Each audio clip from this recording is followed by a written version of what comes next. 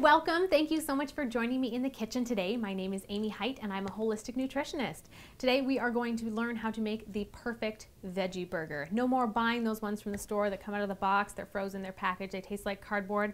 We are going to use some real awesome whole ingredients and make our own at home.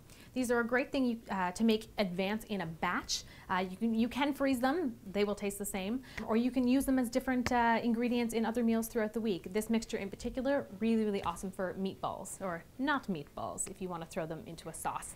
So let's jump in. Let's look at what we're working with. Um, really, really awesome base of whole food ingredients. And when we think about making a veggie burger, there are a couple of things that we want to make sure we're including. So we want to think about what is the flavor that we're after. The one we're working with today is a little bit Mediterranean inspired. We want to think about heft. You know, if you think about a traditional beef burger, um, it has that, that weightiness and that density to it. So we want to think about what's going to give us some, some nice density and heft texture, you know, that kind of interesting chewiness, and also freshness and acidity. So we're going to work in some lemon and some fresh herbs to help give that extra sort of bounce of flavor.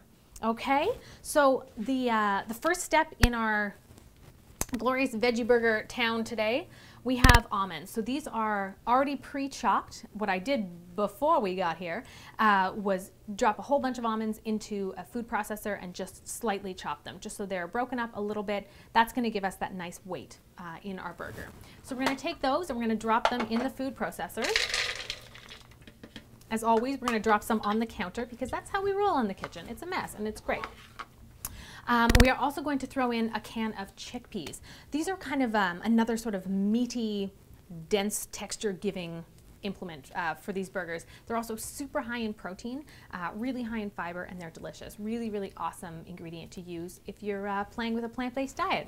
So we're gonna toss in our whole can of chickpeas, which have already been drained and rinsed. Whoop, those go in there. Um, what I have here as well is a bulb of garlic. And you'll see in the recipe that it says you want to use um, a bulb of garlic that has been roasted. So what we've done here is just cut the top off, um, drizzled it with some olive oil and wrapped it in foil. Uh, this was baked for about 40 minutes at about 350 degrees and what that does is uh, allow the oil to really seep into the garlic, soften it up a little bit and uh, really bring out the flavor. It also means that it's going to blend better. So what we'll do is peel our good friend the garlic here and you'll see that you can pull out each individual clove. Um,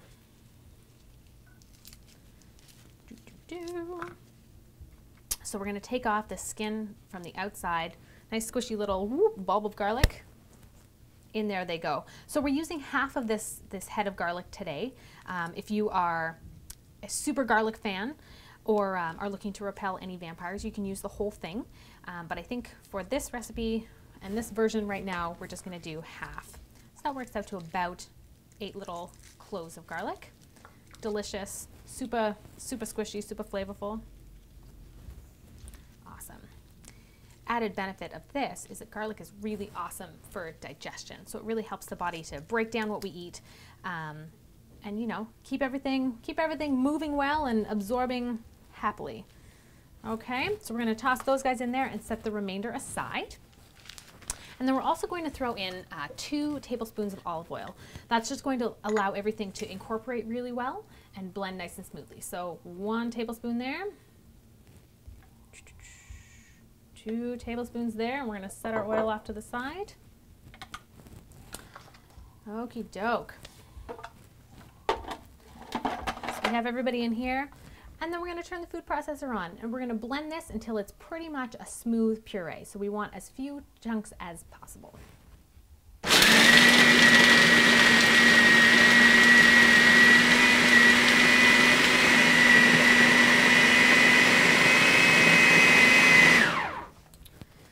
Okie doke, that's looking pretty good in there. Get our lid off. Awesome. Oh my goodness. Okay, so we can just take a look here and see that it's pretty, pretty well combined. It actually looks a lot like hummus. Surprisingly, not so much because this is such a chickpea heavy base, it actually is a little bit like a hummus. So we're gonna take this, transfer it over to our big old mixing bowl.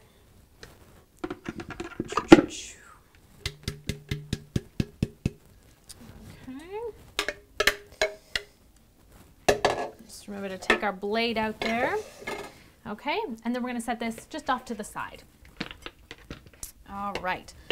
So then we're going to move on to our next sort of set of ingredients. And these are the ones that are really going to bring some yummy flavor and some uh, awesome freshness to these burgers. So we have our scallions, some beautiful green onions. We're going to toss those in there. Delightful. Okay. Um, we have half a lemon. We've cut him in half. And we're just going to squeeze it. Super simple. Um, you do want to pull the seeds out um, in advance just so you don't end up with any little surprise chewy bits in there. So we're going to squeeze all of the juice out of our half a lemon. Okay. Groovy. Cool. We have here some, there we are, um, Kalamata olives. So we're going to pull out about two tablespoons worth of those and chop them up just into, into wee little bits. So um, we could throw them in as, as whole olives if we wanted to. Um, but uh, in the interest of spreading them out through multiple burgers, we're going to cut them into smaller pieces. Now, olives are a really awesome addition to these, these burgers, not only for flavor, but also because they offer some really, really beautiful um, unsaturated fat. So when we have fat in a meal, it actually helps us to register more easily that we are full, that we're done. The brain has some really powerful receptors for fat, so it only takes a little bit for it to pick up and say, "Cool, we've had enough. We're done. We can uh, we can move on from this meal." And plus, it's just yummy. And healthy fats are healthy fats are good fats. So we're going to take those olives and we're going to toss them in, throw them right into our bowl there. We also have uh, some artichoke hearts. Um, I do buy the canned ones. Um, if you can look for a brand that doesn't have BPA in the lining, all the better. Um, just do give them a nice rinse uh, before you use them.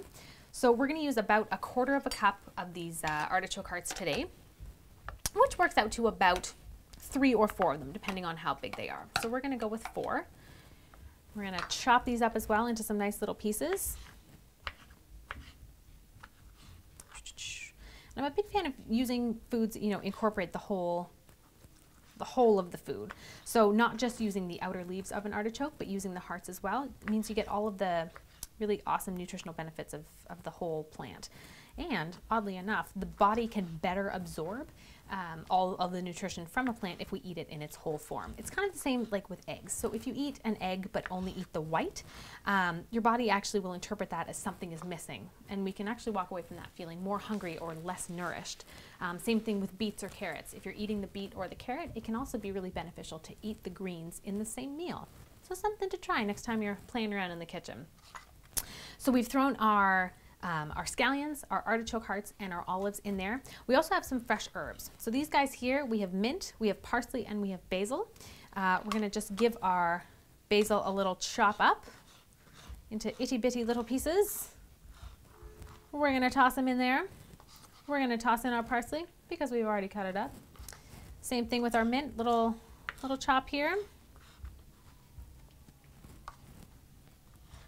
Okay, cool these guys here. Um, we are also going to add in some vegan yogurt. So this brand here, uh, So Delicious, they make several different flavors. What you want to look for is plain, unsweetened, ungarbagified. We don't want any additional sweeteners um, of any kind added in. One, it's going to taste weird, and two, we just don't need them. So a plain variety, um, either of something like an almond yogurt, a coconut yogurt, um, whatever your preference is, but two tablespoons there. And what this is going to do is really help everything kind of blend and bind. There we go. There's our yogurt. We've covered that guy. And then this guy here, this is the, the uber base of our burgers. And this is two and a quarter cups of cooked quinoa. Again, at the beginning of the week, um, if you can sort of prep your ingredients and have them handy, a grain, a legume, really, really awesome to prep in advance, super easy. Um, and it means that you can throw together a recipe like this in a fraction of the time because this is already done. So two and a quarter cups of our cooked quinoa, we're gonna throw them in there. Okay. We're going to season with a little salt and a little pepper. You can do this to taste and you can always adjust afterwards if you, uh, if you want to give it a little taste and see how you feel. Um, little, little pinch of our sea salt friend. Awesome. Okay, and then we're gonna mix. So we're gonna thoroughly combine all of the ingredients in here until they form a really nice paste. What's awesome about this is because there is such a high protein content in the the beans and in the quinoa, um, as well as in the almonds. This is a really like hefty meal. This is one of those ones where, you know, we don't have to worry that, oh, we're not having meat and we're not getting enough protein. There is so much plant-based protein in here and also combined in a really complementary way that the body can really use what's in here um, in, in, a really, in a really lasting kind of way. Um, plus, it's delicious and let's be real, that's, that's kind of what we're all after, right? So we're gonna mix this guy up till it's all nice and combined.